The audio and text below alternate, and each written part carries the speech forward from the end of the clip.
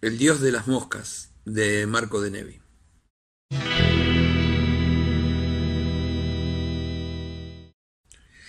Las moscas imaginaron a su dios. Era otra mosca. El dios de las moscas era una mosca ya verde, ya negra y dorada, ya rosa, ya blanca, ya purpúrea. Una mosca inverosímil, una mosca bellísima, una mosca monstruosa, una mosca terrible, una mosca benévola, una mosca vengativa, una mosca justiciera, una mosca joven, una mosca vieja, pero siempre una mosca. Algunos aumentaban su tamaño hasta volverla enorme como un buey, otros la ideaban tan microscópica que no se la veía. En algunas religiones carecía de alas, en otras tenía infinitas alas.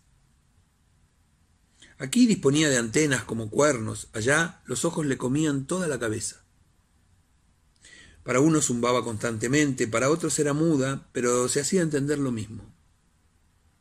Y para todos, cuando las moscas morían, los conducía en un vuelo arrebatado hasta el paraíso, y el paraíso era un trozo de carroña hediondo y putrefacto que las almas de las moscas muertas devoraban por toda la eternidad y que no se consumía nunca.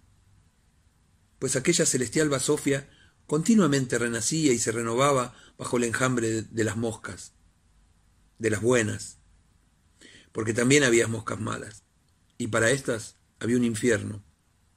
El infierno de las moscas condenadas era un sitio sin excrementos, sin desperdicios, sin basura, sin hedor, sin nada de nada, un sitio limpio y reluciente, y para colmo, iluminado por una luz deslumbradora, es decir, un lugar abominable.